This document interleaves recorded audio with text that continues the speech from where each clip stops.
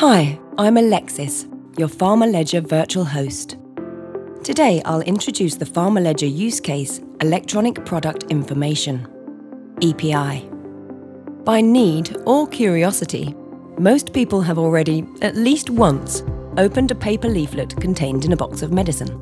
We all know how difficult it is to read those leaflets, but the product information contains a lot of very important information for patients and health providers, and it describes the correct use of the particular medicine, the approved indications, dosage recommendations, and other information key to the health and safety of patients.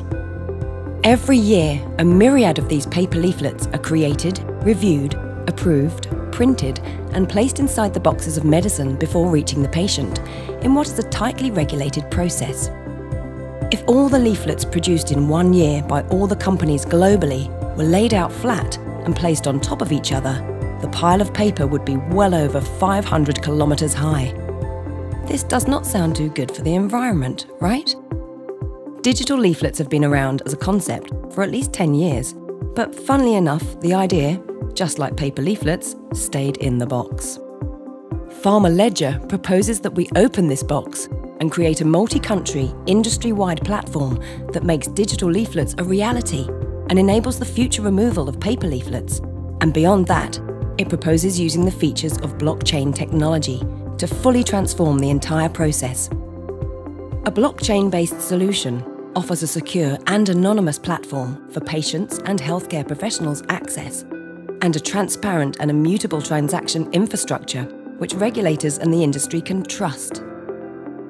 Through the Pharma Ledger platform, regulators and manufacturers can expedite the creation, review, and approval with the faster release of updated critical product information to patients, further enhancing safety and healthcare provisions. You might be asking, how does it work? Well, as a medicine user or healthcare provider, it's enough to scan the code on any given medicine from any brand or manufacturer to obtain the approved version of the product information in a user-friendly interface. This is what we call Electronic Product Information, or EPI. As a result, patients have easier access to the most recently approved information. Regulators have more efficiency, and the industry can reduce its environmental footprint. This sounds amazing, I know, and it doesn't end here.